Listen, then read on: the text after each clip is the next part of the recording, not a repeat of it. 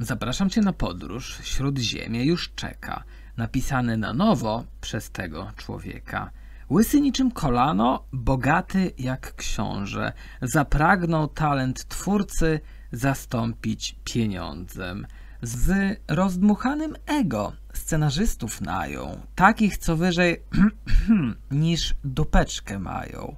Co zgotowała banda literackich leszczy? I dlaczego ta tutaj baba ciągle wrzeszczy? Dowiesz się z filmiku zdobionym rymami w trzynastozgłoskowcu dawno zapomnianym.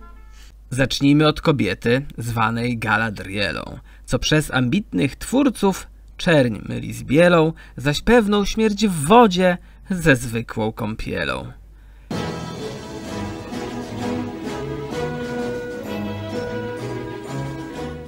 Potworów się nie boi, wulkanu nie lęka, prawdziwa bohaterka przed nikim nie klęka.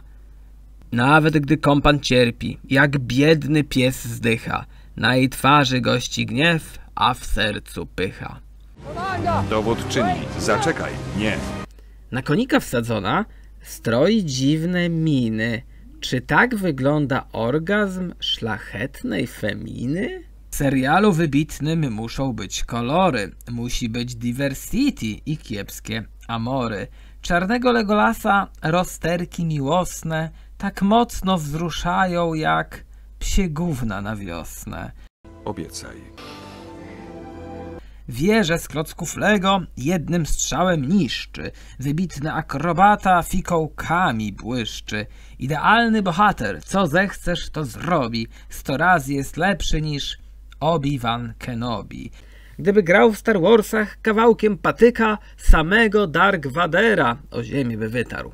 W serialu są jeszcze bestie przeraźliwe, na współczucie odporne, na cierpienie chciwe. Żyją z dala od ludzi, w lesie ukryci, a nie sorki pomyłka, to przecież hobbici. Z radosnych niziołków, co lubią rodaków, zrobiono obrzydliwą komunę bydlaków. Jest jeszcze elf, co lubi krasnala rudego, choć ten nie tak od razu chce go zwać kolegą. Trochę się z nim droczy, trochę kręci nosem. Całe szczęście to żona w domu jest bosem. Elf pożąda mi trilu, więc trochę szpieguje, udaje przyjaciela, a jest zwykłym zbójem. Krasnolud straszy elfa, że stosunki zerwie, lecz kuśka umięknie, bo elf jest na baterię. Takich oto pomysłów gwałcących logikę więcej niż głupich wpadek od Korwina Mikke.